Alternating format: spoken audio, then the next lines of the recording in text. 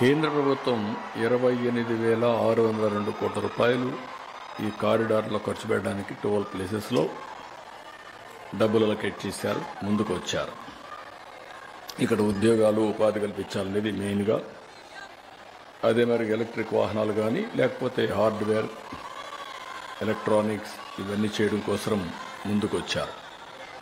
మళ్ళీ ఇక్కడ రెండు కారిడార్లు మూడు కారిడార్లు మనకు వస్తున్నాయి.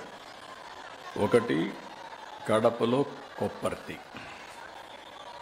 ఇది రెండు వేల ఐదు వందల తొంభై ఆరు ఎకరాల్లో కొప్పర్తి పారిశ్రామిక హబ్ వస్తుంది.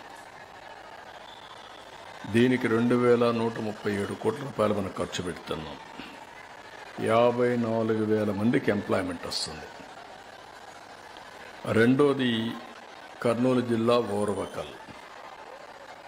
ఇది రెండు వేల ఆరు వందల ఇరవై ఎకరాల్లో ఓర్వకల్ పారిశ్రామిక హబ్ దీని మీద రెండు వేల ఏడు వందల ఎనభై ఆరు కోట్ల రూపాయలు ఇన్ఫ్రాస్ట్రక్చర్ మౌలిక సదుపాయాలకు ఖర్చు పెడుతున్నాం. దీంట్లో పన్నెండు వేల కోట్ల రూపాయలు మినిమం పెట్టుబడులు వస్తాయి. నలభై ఎనిమిది వేల నలభై ఐదు వేల మందికి ఉద్యోగాలు వస్తాయి. అదే మరి ఇప్పటికే కృష్ణాపట్నం. అక్కడ కూడా ఒక కార్య ఒక నోడ్కి హబ్కి అనుమతిచ్చారు. పద్దెనిమిది వందల కోట్లు మనం ఖర్చు పెడతాం. అది కూడా అక్కడే కృష్ణపట్నం పోర్ట్ ఉంది. దానికి కూడా ఇంపాక్ట్ ఉంటుంది. నక్కపల్లి ఇంకొక పక్కన ఫార్మా హబ్ వస్తుంది. అది కూడా టెండర్లు పిలుస్తున్నాం. ఈ విధంగా ఇప్పటికి నాలుగు హబ్బులు వచ్చి మూడు కారిడార్లో ఈ ప్రాజెక్టులన్నీ వస్తాయి. ఇది ఒక చరిత్ర. ఇప్పుడిప్పుడు మళ్ళీ డెవలప్మెంట్ కానీ ఇక్కడ ఇన్స్టిట్యూషన్స్ కానీ ప్రాజెక్ట్స్ కానీ ముందుకు పోయే పరిస్థితి వచ్చింది. దీనికి కూడా నేను కేంద్రాన్ని మనస్ఫూర్తిగా అభినందిస్తున్నాం. ఈ కేంద్రం దగ్గర దగ్గర ఇప్పుడు అనౌన్స్ చేసిన రెండు ఇంత మునుపు అనౌన్స్ చేసిన రెండు ఉన్నాయి నాలుగు ఉన్నాయి. దానికి కూడా మనస్ఫూర్తిగా అభినందిస్తున్నాం.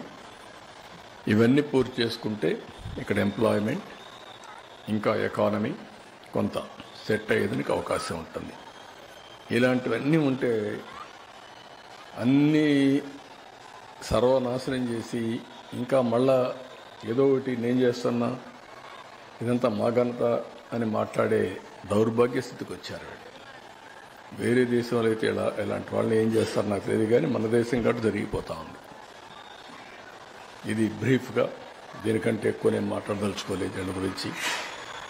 So this is the historic day for the state of Andhra Pradesh good day good beginning